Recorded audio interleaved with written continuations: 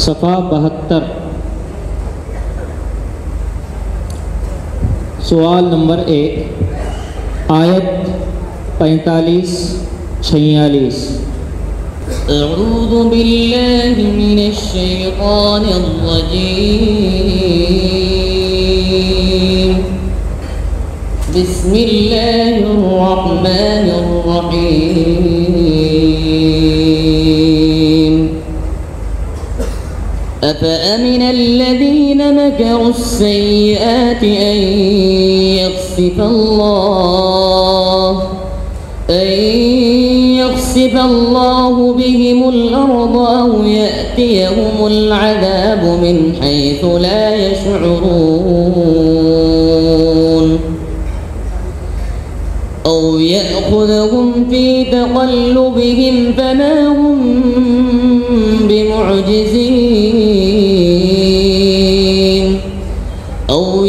تأخذهم على تخوف فإن ربكم لرؤوف رحيم. بس ترجمة كيجي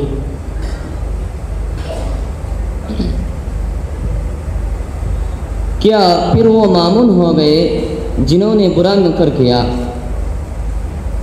کہ اللہ کہ اللہ انہیں زمین میں دسا دے۔ یا ان کو ان کے پاس عذاب لے آئے جہاں سے انہیں گمان بھی نہ ہو۔ یا ان کو پکڑ لے، چلتے پھرتے۔ پھر وہ اللہ کو عاجز کرنے وا، کرنے والا نہیں ہے۔ یا اللہ ان کو پکڑ لے، ڈرا کر۔ پھر یقیناً تمہارا رب بڑا مہربان، نہایت رحم والا ہے۔ مکر السیئاتی۔ میں السیئات کا اعراب کیا ہے؟ السیئات منصوب و نسع الخافظ ہے۔ ارسلا اور بعث میں کیا فرق ہے؟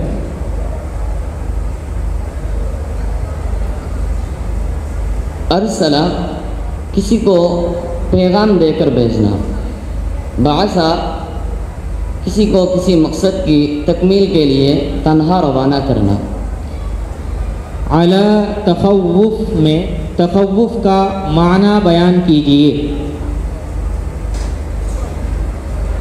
تخوف کا معنی تخوف کسی شے کو آہستہ آہستہ کم کم کر کے گھٹا دینا۔ اس آیت کریمہ کا ما قبل سے کیا ربط ہے؟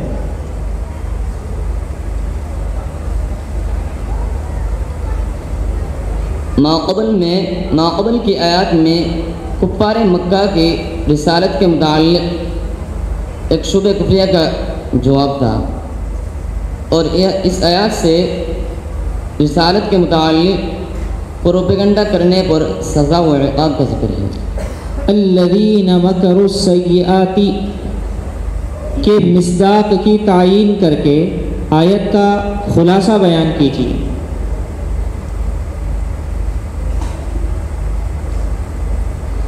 مشرقین مکہ مراد ہے۔ آیت- اس آیت کریمہ میں اہل مکر کے چار سزاؤں کی تحدید کی گئی ہے۔ نمبر ایک، زمین میں دسانا۔ نمبر دو، بیرونی ذرائع سے عذاب نمبر تین، چلتے پھرتے گرفت نمبر چار، عذاب بعد ازخوف سوال نمبر دو، آیت نمبر اٹھانوے، ننانوے، تلاوت کیجیے۔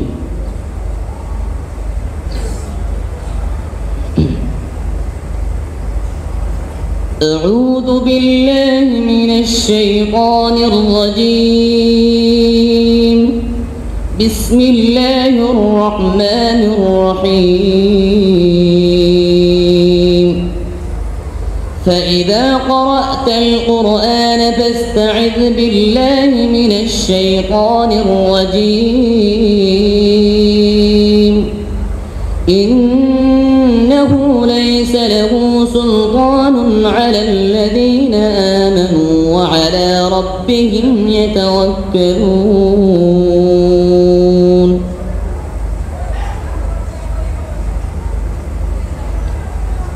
ترجمہ کیجیے۔ پھر جب تم قرآن پڑھنے لگو، تو شیطان مردود سے اللہ کی پناہ مانگو۔ یقیناً اس کا زور تو ان لوگوں پر نہیں ہوتا ہے جنہوں نے ایمان لایا اور اپنے رب پر توقل کرتے ہیں۔ ان، اس کا زور تو بس انہی پر چلتے ہیں جو اس کو دوست سمجھتے ہیں۔ اور وہ لوگ جو اپنے رب کے ساتھ شریک ٹھہراتے ہیں۔ فَإِذَا قَرَأْتَ الْقُرْآنَ میں، بلاغت کا کون کون سا قاعدہ ہے؟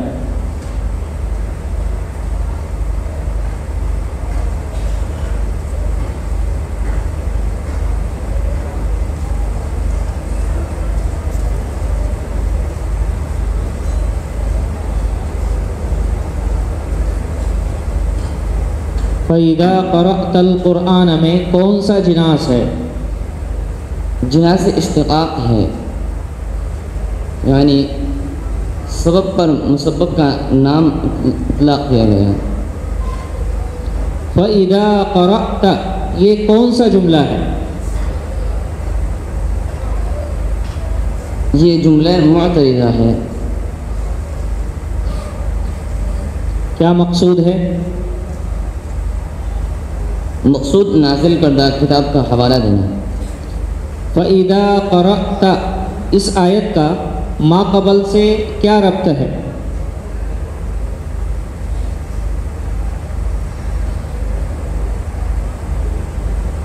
وقول ابن عاشر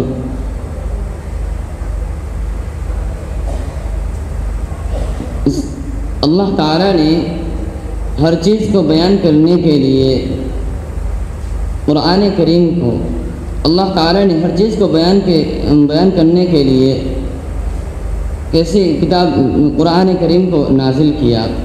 ساتھ ہی اس آیت میں تنبیہ کر دی کہ ساتھ ہی اس آیت میں تنبیہ کر دی کہ شیطان شیطان سے شیطان سے بچنے کے لیے اللہ تعالیٰ کی حفظ و امان میں جائے اور اسی کی طرف اپنے آپ کو رجوع کرے۔ فَإِذَا قَرَأْتَ میں اصل مخاطب کون ہے اور خطاب کا مقصود کیا ہے؟ بیان کیجیے۔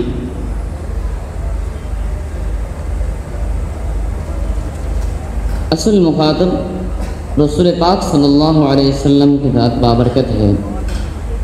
اور جب رسول پاک صلی اللہ علیہ وسلم سے وسلم کو وسلم سے استعادہ وسلم تک استعادہ ہے، تو ہم آلودہ ایسی امتوں کے لیے ضرورت کس درجہ موقر ہوگی مقصود کیا ہے؟ اس خطاب کا مقصود کیا ہے؟ مقصود دلالت ارشاد امت ہے۔ یعنی جس جس پر لفظیہ قرینہ لفظیہ انہو لیس له سلطان علی الذین آمنوا دال ہے۔